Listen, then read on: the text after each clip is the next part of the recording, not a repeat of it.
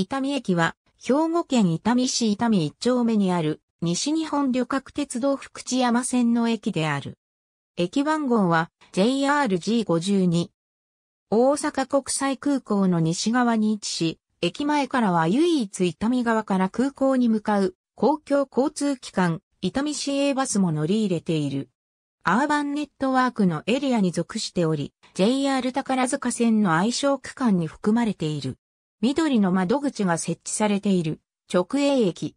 自動券売機はすべてタッチパネル式で、緑の券売機もある。愛子化の利用も可能。当駅から約1キロ西には、阪急伊丹線の終着駅、伊丹駅がある。ホーム構内の観光案内所とオープン感のある、キオスク相対式2面2線のホームを持つ、地上駅で、橋上駅舎を有している。分岐器や絶対信号機を持たないため、停留所に分類される。ホームは、島式2面4線への拡張が可能な構造となっている。ホーム間の移動は、古線橋を使う。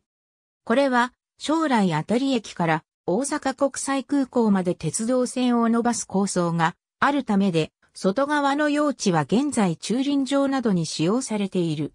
エスカレーターは4機、エレベーターは2機設置されている。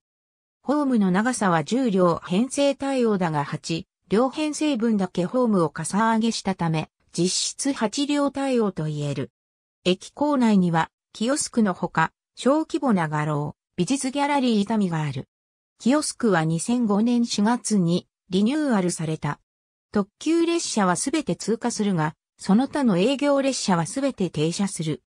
日中時間帯の停車本数は1時間あたり8本で、区間快速と普通列車がそれぞれ4本ずつ停車する。大阪行きの快速列車は、当駅を出ると2駅で大阪駅まで到達できるため、大阪市内へのアクセスが充実している。朝ラッシュ時の大阪方面は本数が非常に多く、また朝晩は JR 東西線に直通する列車もある。2019年度の1日平均乗車人員は25,047人で、JR 西日本の駅の中では36番目に多い。このうち、福知山線内では2位。福知山線は長い間、単線非電化の地方ローカル線であったため、当駅も国鉄時代から大都市近郊の駅としては乗降客の少ない駅であった。しかし、1981年の複線電化、1987年の国鉄分割民営化、1997年の JR 東西線直通運転の開始を経て、利便性が大幅に向上したことに加え、2000年代に駅周辺で大規模な商業開発が進展したことにより、大幅に乗降客が増加し、近年では JR 西日本の各駅の乗車人員ランキングで上位50位以内に入るようになった。当駅の西には阪急伊丹線の伊丹駅があるが、当駅に比べるとやや利便性が劣ることや、阪神、淡路大震災により阪急の駅が仮設駅舎で営業している間に JR 東西線が開業して JR の利便性が上がったこと、大規模な商業施設の撤退などで、阪急伊丹駅周辺の都市機能が相対的に低下していることなども利用客増加の要因として挙げられる。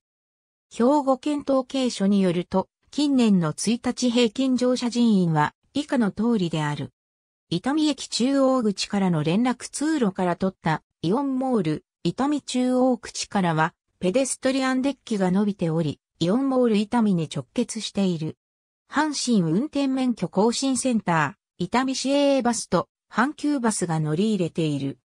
停留所名は西口バスターミナルが JR 伊丹、東口がイオンモール伊丹阪急バスは JR 伊丹停留所を経由しない路線がイオンモール伊丹停留所を発着している。伊丹市営バス JR 伊丹停留所イオンモール伊丹テラス停留所、阪急バス JR 伊丹停留所イオンモール伊丹、停留所あたり駅と大阪国際空港を JR で結び、大阪駅まで乗り入れる JR 福知山線分岐線構想や、兵庫県が LRT を同区間に設置する案などがあったが、採算の取れる見込みがなく、実現される可能性は低くなっている。ありがとうございます。